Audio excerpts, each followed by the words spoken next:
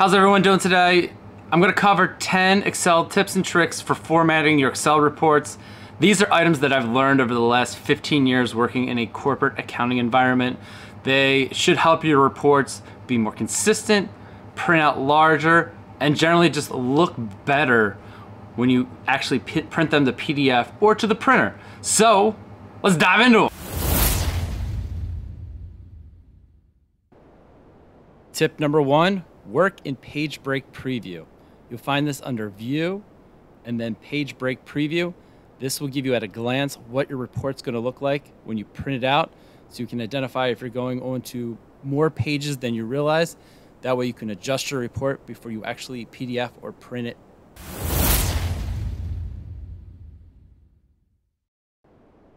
All right, give your report a heading so your users know what they're looking at without having to try to guess. Um, you're going to get some nuances from me in this part because uh, know, this is my approach, so you can take it or leave it. But basically, I like to take the first three rows. I'll usually add a color. Um, if your company has a color template, I highly recommend using that. It's just a nice add-in to use your company's colors in the reporting. If it's for your own personal report, uh, obviously use the colors that you like. But I use the first three rows, grab a color, and then with the font, I usually stick to white or black font. Here, I'm going to merge the cells. Once I merge those cells, I'm going to have this nice centered heading that looks really good when I print it out.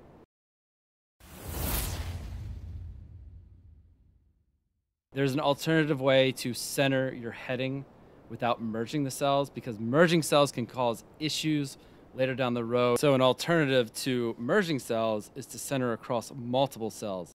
And you can find that under format cells, alignment, text alignment, horizontal, and then center across multiple cells.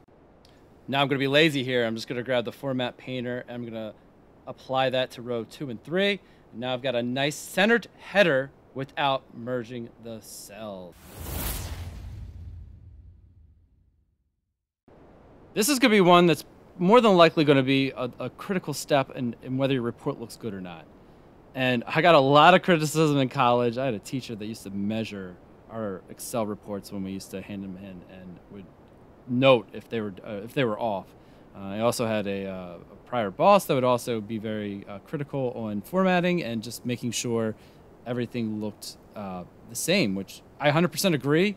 Uh, the report looks much nicer when you have your columns and data lining up. So in this instance, I'm going to try to get A, D, and F. These are going to be kind of like my uh, spacing areas that I want to get them lined up to so they're the same size. And then I'm going to try to take C, E, G, and H, and I'm going to make them all the same size as well. And this is going to make my report look much better. Now B, I'm going to make it as long as it needs to be so I can read that data point or that category essentially. And then I'm going to clip I and J over here because I don't need those in this report. And once I have those lined up and I clip I and J, this Excel report is going to look a lot better when I go to print it to either PDF or to the printer.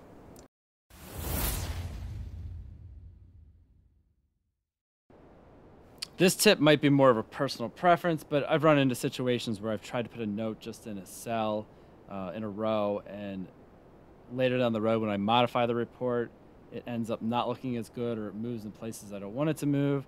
So I found putting notes in a text box instead of in a cell makes my life a lot easier if I need to modify this report or just adjust things in the report later down the road.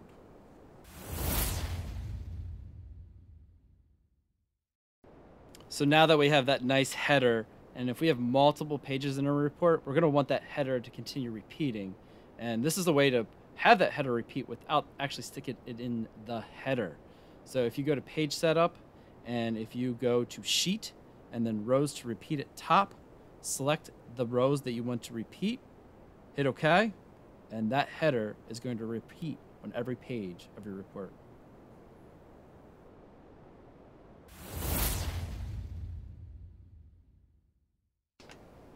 This is going to be one of those final touch pieces of your report where you want it to center when you go to print it. Uh, by default, it's not going to center. and you can you can actually play with formatting to get it to center. But to make your life easier, there's actually a area in page setup where you can go under margins, and then you can just say center it on my page horizontally for portrait, vertical for any landscape reports.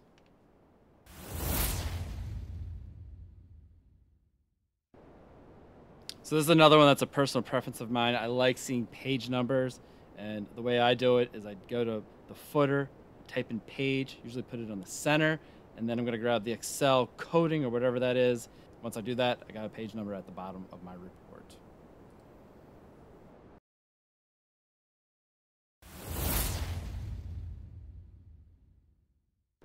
All right, my next two tips are gonna be tips to make your reports larger so you can read them. I've gotten a lot of criticism in the past. I've got a lot of data on my report, but I can't read it because your font's too small. So here are my two tips on how to maximize your report size. One is playing with the margins. I'm gonna adjust the margins here on my left and right side so I have a larger report.